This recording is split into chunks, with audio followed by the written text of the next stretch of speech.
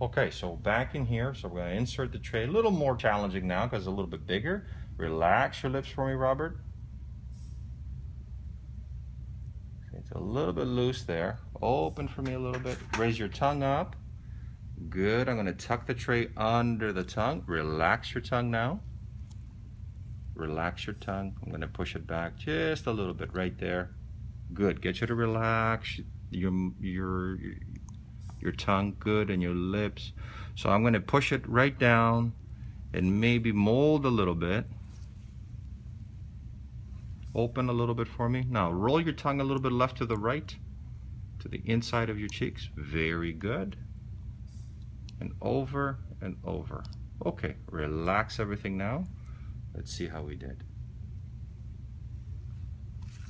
So Robert here, by moving his tongue, I'm going to maybe a little displaced here, he shaped this extension here quite nicely for us.